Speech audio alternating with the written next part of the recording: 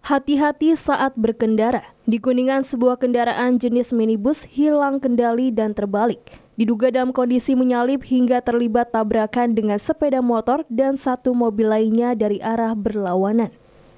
Kecelakaan ini terekam kamera CCTV pada Jumat 1 Maret 2024. Kepada awak media, Kasat Lantas Polres Kuningan AKP Sigit Suhartanto melalui Kanit Gakum Polres Kuningan Ibtu Sri Martini menerangkan kecelakaan terjadi pada pagi hari sekitar pukul 07.40 waktu Indonesia bagian Barat di Jalan Raya Kelurahan Windu Haji, Kecamatan Kuningan.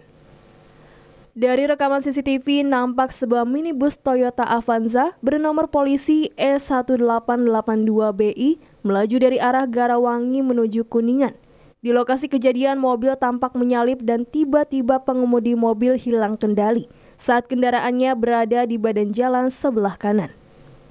Dari arah berlawanan tampak pengendara sepeda motor bernomor polisi E2901ZG melaju dengan satu penumpang.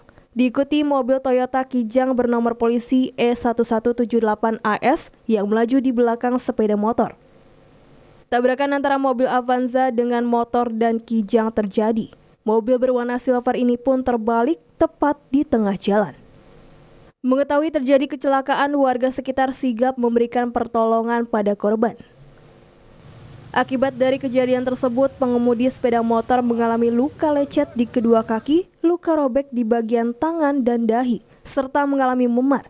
Luka dan memar juga dialami penumpang sepeda motor, sementara itu pengemudi mobil Avanza berinisial J 41 tahun, warga kecamatan Ciawi Gebang mengalami sakit di leher dan lecet di bagian bibir. Ketiga korban dibawa ke RSUD 45 untuk perawatan. Adapun pengemudi Toyota Kijang tidak mengalami luka. Kejadian ini dalam penanganan unit Gakum Satlantas Polres Kuningan. Bubut Sihabudin, RCTV, Kuningan.